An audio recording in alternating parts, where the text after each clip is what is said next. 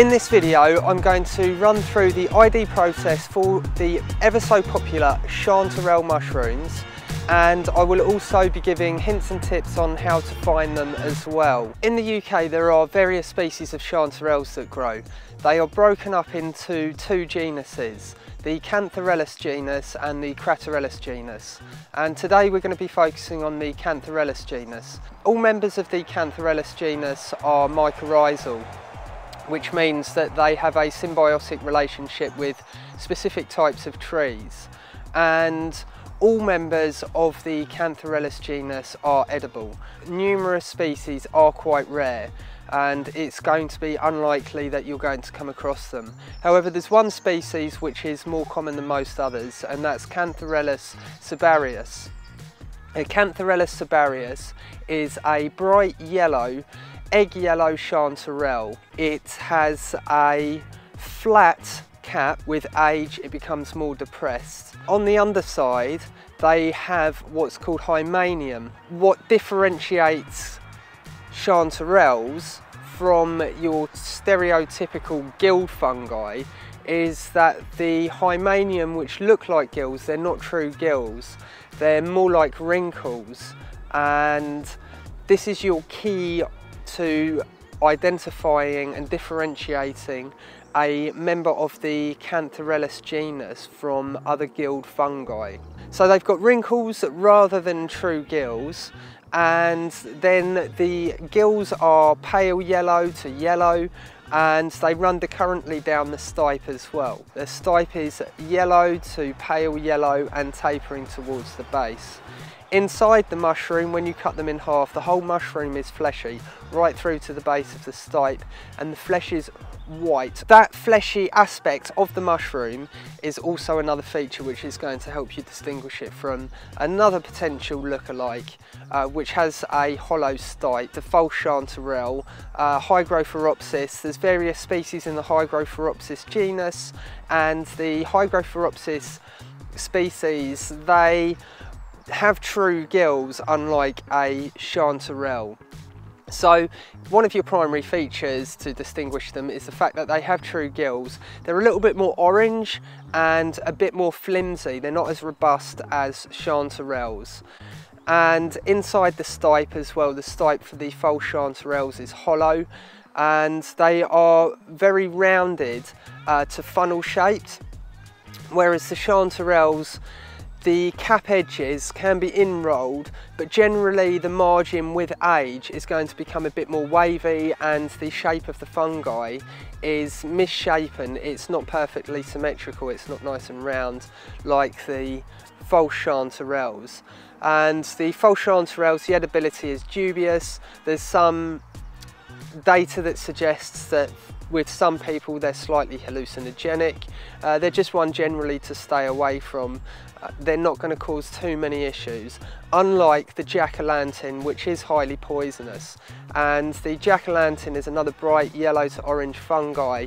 Typically it grows in groups and in, in quite dense clusters and it's a much larger fungi than the chanterelle and it also grows on deadwood too so it's saprobic. Sometimes you'll find it growing on the deadwood of roots of trees underneath the bases of tree stumps so this the, the wood that it's growing on could be underground and it may look like they are uh, growing straight up from the ground. There is potential for you to muddle them up there.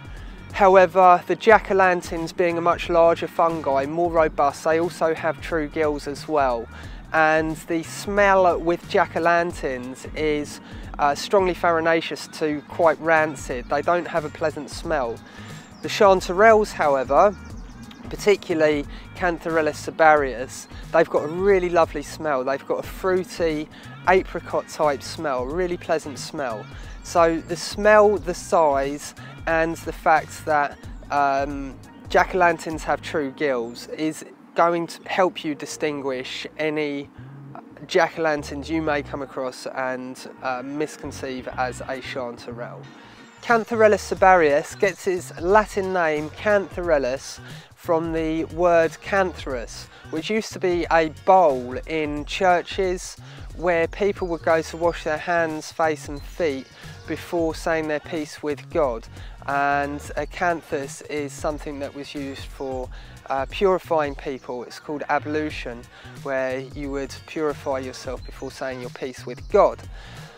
So chanterelles are also known to be purifying and there's a recent study where an extract from chanterelles was applied to wounds on rats and the extract that was used, it healed the wounds rapidly and prevented infections from occurring. So they're antibacterial and they found that they promote collagen production in the skin as well.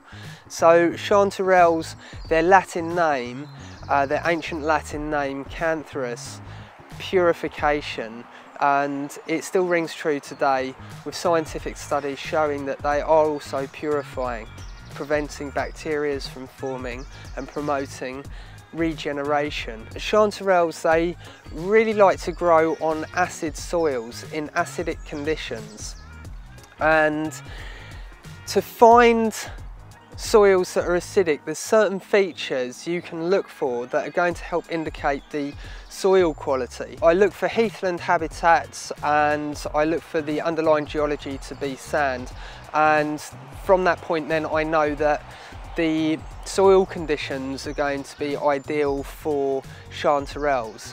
Once I've found the right habitat with the right soils, then I need to find the right tree species which they grow with. In the southeast here, I almost only find them with beech trees.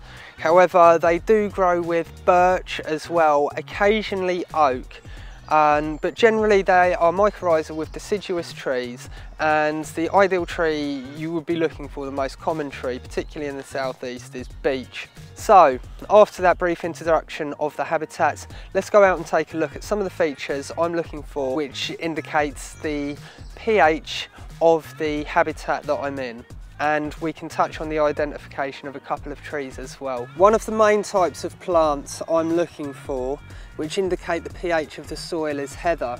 Heather is a great indicator of soil pH. They like acidic soils, so they like a pH from about 4.5 to 5.5, which is the same type of pH that you're going to find chanterelles in. Some of the grasses can also be a good indicator of the soil pH and they are very tricky to identify. If you can identify, recognise some species of grasses, uh, be looking for species like fescus, um, species within the Festuca genus, uh, because they are tolerant of harsh environmental conditions, so nutrient poor soils, droughty conditions, uh, which is what you get in heathland habitats. When you're walking around the landscape, you might find patches of sand as well. And if you see patches of sand, generally the soils are going to be acidic. So the actual soil itself can help indicate what the pH could be in the location you're in. The season for chanterelles is from around summer solstice right through until November you can find them.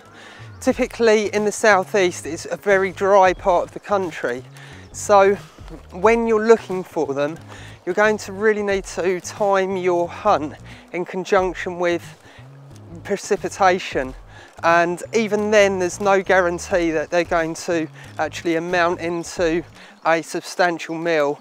Often I find them and they don't make it past pinhead stages, particularly the last couple of years where the summer's been so dry. Once you've narrowed down a habitat where you believe chanterelles might grow, then your next thing is going to be to find trees that they might grow with. So as I said before, we're looking for deciduous trees and in particular, we're looking for beech and potentially birch as well. But I would certainly, in the southeast of England, be concentrating my hunt around beech trees. Let's go see if we can find some beech. Over here we have a silver birch. Birches are relatively easy to identify. They have this silvery bark, which is split horizontally and often at the bases there'll be the bark will be split vertically in kind of diamond formations. They tend to have a preference to acidic soils, however you will find them on alkaline soils as well, uh, but certainly their preference is acidic soils. Uh, but they aren't good indicators of the pH of the soil, unlike some of the other plants I've shown you earlier. Beech trees are another tree that's relatively easy to identify, particularly when there's foliage on them. And they have smooth bark, they grow with typically with just one trunk. The leaves on beech trees are oval with pointed tips, slightly wavy on the margins. Um, one of the unique features of beech leaves is that they have hairs on the margin as you should be able to see just there. Often I'll look around on the floor and that can indicate the species of tree that I'm under and these are beech nuts. Because it's so dry, I'm just heading down the hill and I'm trying to find areas where water is going to run off to and collect because that is what's going to increase my chances of finding some fruiting chanterelles. We did have rain just over a week ago, so the rain acts as a, a trigger event which induces the fungi to fruit. And whether they actually fruit into a substantial size is another question. It depends on the amount of rainfall you have. But we've had enough rain to trigger them into fruiting, so this is a good time for me to be going out and hunting. This area here is a little catch basin. Water runs off the top of the hill and trickles down here and builds up and collects and there's a few little pockets down here um, where where the water's going to collect and straight away I can see there's some chanterelles.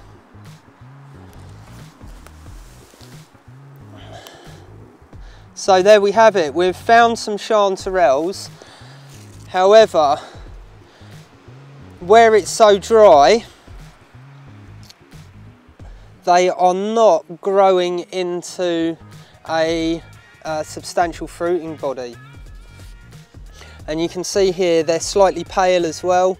Um, so they're struggling with the harsh environmental conditions and if we get a bit more rain I think these will certainly start to develop.